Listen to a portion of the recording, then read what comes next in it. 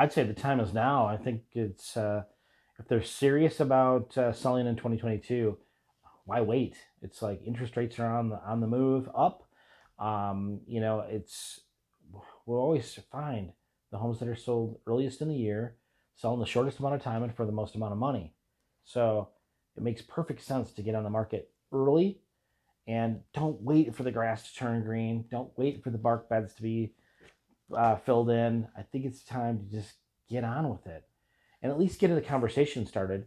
And then once they make the commitment, stay focused on it and let us let us do our job to help them achieve their goals and yield them the best results.